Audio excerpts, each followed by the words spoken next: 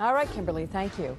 And new at noon today, a Troy police officer accused of tipping off an area drug ring was back in court today. Lynn Falsetti was in Rensselaer Court when he was arraigned on numerous charges. Here's her report.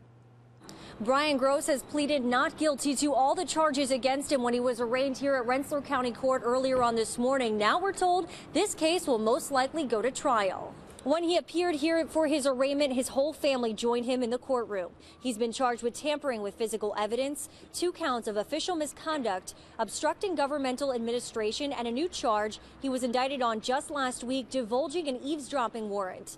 He's accused of revealing to at least one suspect that multiple law enforcement agencies were conducting a joint investigation into a capital region drug ring. Prosecutors say he alerted them that police were going to execute several search warrants.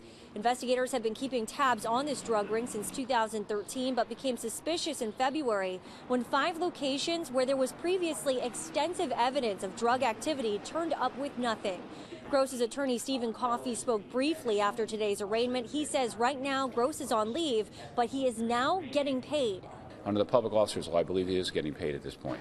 He'd like to be working, so it's not a question where he's just sitting home happy to get a salary.